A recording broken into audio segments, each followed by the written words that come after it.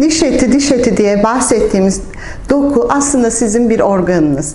Onu organ olarak kabul etmek ve dişin kaybının bir organ kaybı olduğunu anlamak çok önemli. O zaman diş etinize daha saygılı ve de daha sahip çıkacağınızı düşünüyorum. Eğer diş etinizde başlangıç olarak bir kanama, hafif ağız kokusu ve renk değişikliği varsa bu tablonun adı gingivitistir. Yani biraz diş taşı birikmiştir ve diş eti buna iltihabi olarak cevap vermektedir. Burada yapılacak tedavi her zaman için bir profesyonel diş taşı temizliği ve sonrasında sizin iyi fırçalamanızı öğrenip uygulamanızdır. Aksi takdirde bu tablo devam ederse giderek ilerler. İlerlemek şu anlama gelmektedir. Önce diş eti şişer, ardından dişi saran kemik dokusu iltihaplanarak erimeye başlar. Bu süreçte dişler yer değiştirmeye, uzamaya, diş etleri çekilmeye başlar.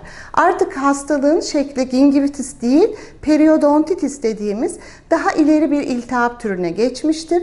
Tedavi türü de değişmiştir. Burada mutlaka periodontal cerrahi işlemler, küretaj, filep dediğimiz artık hekiminizle röntgen üzerinde değerlendirilerek karar verilecek tedavi modelleri devreye girmiştir.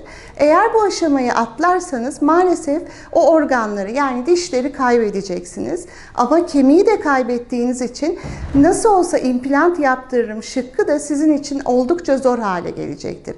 Lütfen dişlerinizin organ olduğunu hatırlayın ve onlara iyi bakın.